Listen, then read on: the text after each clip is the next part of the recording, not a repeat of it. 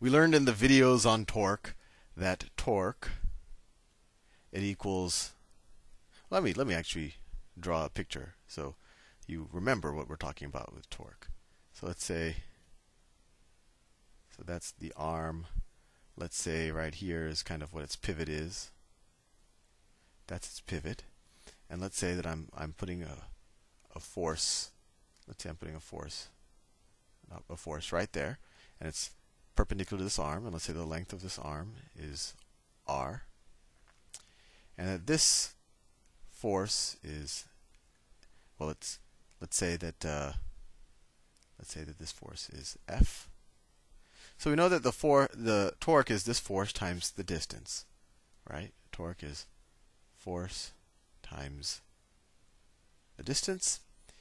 And then we also know that what is force? Well, that is equal to mass times acceleration times distance. So torque is equal to mass times acceleration times distance. And then so so what is and then what is acceleration? Well, that's equal to mass times change in velocity over change in time times distance. Right?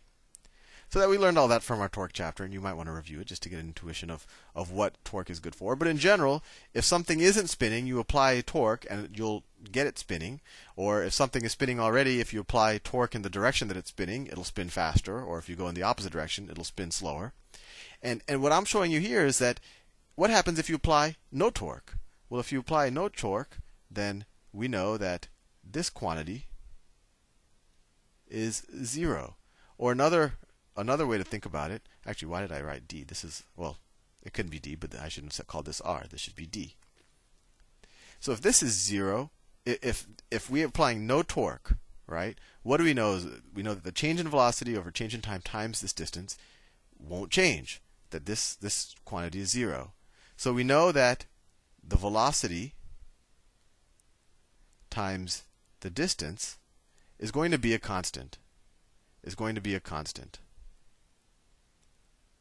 and that comes from what I just you know talked about. It, I sometimes almost feel like it it is it falls out of Newton's laws, but it applies to spinning. An object that's not spinning will tend to not stay spinning, and an object that is spinning will tend to stay spinning.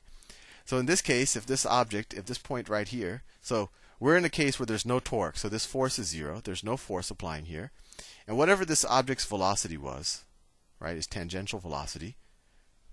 It's going to stay that velocity right? It's just going to keep spinning at that velocity. If I apply more torque it, it'll go even faster. If I apply less torque, it'll it, it, it'll slow down a little bit.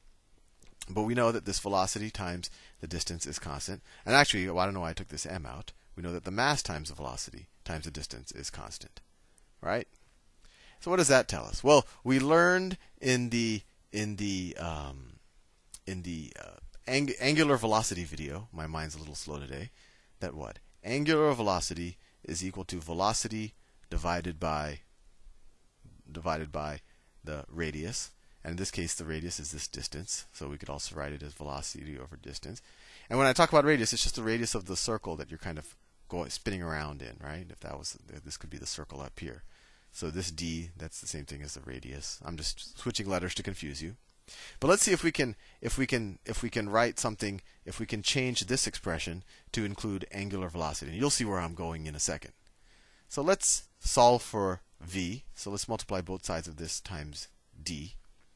So you get dw is equal to v. Right? I just took this d, put it on this side. So let's write that here. m times dw. Right? I just replaced the v times d is equal to a constant, assuming that we have no net torque on the system. And so what does that get us? Well, that gets us m times the angular velocity times d squared is equal to a constant. So what does this tell us? This tells us the mass of an object spinning. So let me let me write, rewrite this because I think So what we know is that the mass of, of an object spinning times how fast it is spinning times the the distance to the, the center of its rotation, and actually I'm going to change that d to an r. I don't know why I even used d to begin with. Times that squared, that's going to be equal to a constant. assuming no net force, no net torque. And another way of, of looking at that, if we if we just wanted to go to angular velocity from the get-go, we could have said torque is equal to mass times change in velocity times change in time times the radius to the, the center of where you're rotating around. And change in velocity is just the same thing as mass times change in angular velocity times r, change in time. Oh, and then there's another r. That's this r. Right? Because velocity is angular velocity times r, and we're assuming r doesn't change. So any change in velocity is just going to be a change in the angular velocity. And then we would get the same thing that we just got here. If we have no net torque, we're going to have no change in angular velocity. So angular velocity will be a constant. So you'll get mass times angular velocity times, and then you have this r and this r times r squared is going to be equal to a constant. What am I? Where am I going with all of this? Well, let's let's think about something. Let's say that I have some object traveling in a circle. I do everything for a reason, and you'll see my reason right now. Let's say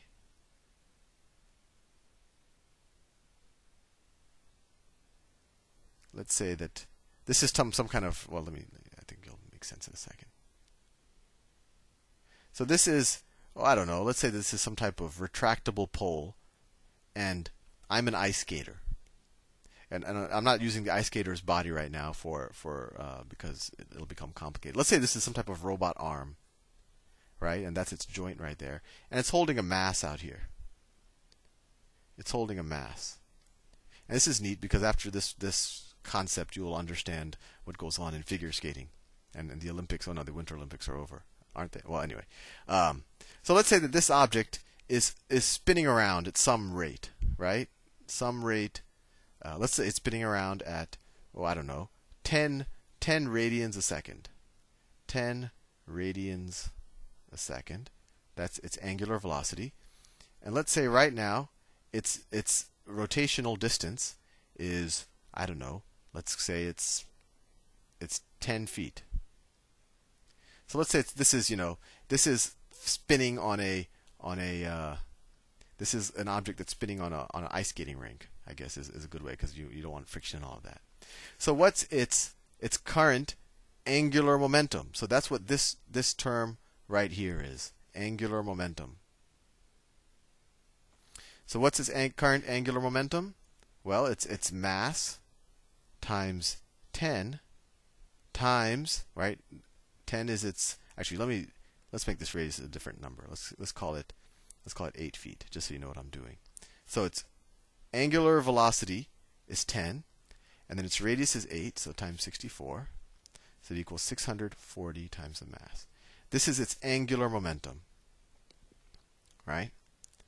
Now what happens if this arm for whatever reason shortens and you know it, maybe it does something like this. The arm kind of bends and then the mass comes here. It comes in closer to the center. Let me write that in a different color. The mass comes closer to the center. So now the radius is 4. But I've had no net torque on the system. All I've done is change is change how far it is from the center of rotation. How much faster is it going to spin now? Well, let's think about it. Its angular momentum won't change. This is a constant, which is its angular momentum. That won't change. So we now know that the mass times times the angular the new angular momentum, we'll write that the angular momentum 1 times the new distance squared times 16 is also going to be equal to 640 m, right? The angular momentum doesn't change. Let's cross out m from both sides and then divide both sides by 16. We now have that W1 is equal to 16 goes into 640. So what happened? Originally I was going around at 10 radians per second. When I halved the radius when I got uh, when I got half as close to the center of my rotation, I'm actually spinning around four times as much, and that's because this term is a quadratic term. And and this makes uh, you, you probably have observed this behavior before when you have when you see the ice skater uh, skating around and and they're spinning with their arms wide open and then they pull their arms in and they go a lot lot lot lot faster and that's because the their angular velocity or the rate at which they're spinning is proportional to the square of of the radius around their their axis of rotation. Anyway, I hope I didn't confuse you, and I'll do some more problems with this in the future. But I've just run out of time. See you soon.